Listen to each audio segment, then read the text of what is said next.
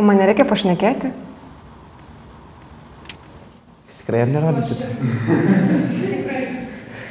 Um, iš tikrųjų, pirmas įspūdis uh, pradėjus studijuoti yra tas, kad uh, programos kuriejai, dėstytojai, jie taip tiki to, ką daro, jie taip tai myli, kad yra neįmanoma jiems net liepti, yra neįmanoma nenorėti daryti kartu su jais to. Monikos paskaitos man labiausiai patinka, nes kažkaip daug tokių minčių pasako, gali atrodo pas kažką eiti daryti. Mane domina šiandien reklama. Viešiai ryšiai. Anglų kalba ar kompiuterinį grafiką. Eigirda, tiesiog labai ten įdomu. Mėgstamiausias dalykas tai vadybos istorija ir teorija. Padeda galbūt atsiskleisti, mąstyti, kažkaip atrasti tą idėją.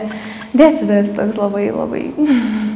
Keli žodžiai, kurie man pačioj pradžioj šovė į galvą, galvojant apie studijas, čia būtų įdomu, kitaip, bet gerai kitaip. Labai džiaugiuosi savo grupė iš tikrųjų, labai draugiški žmonės. Kiekvieną labiau pažįsti kiekvieną dieną ir vis lengviau taip darosi ir, ir smagu, grupė labai super, nežinau, visi tokie atrodo skirtingi, bet ir tolerantiškai, kiekvienas primam tokį, koks jis yra. Linksmi visi. Tai čia vardus dabar pasakyti. Nežinau, labai, nu labai taip savo, jauku, taip paprasta. Aš manau, kad šitos studijos išugdys sugebėjimą atrasti naujų, naujų galimybių bet kurioje situacijoje ir bet kurioje veikloje, kur, kur, kurią jie užsiems. Kiekvienas, man atrodo, nori gyventi taip, kad kai atsibundi ryte, galvoji, jes, valio, šiandien universitetą, šiandien ten, tą, tą darysim.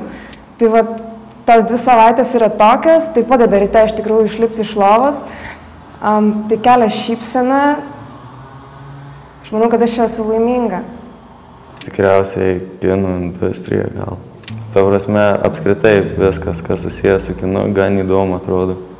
Gal reklamai kur nors? Surimtėjusi labiau. Nežinau, mažą verslininką turbūt.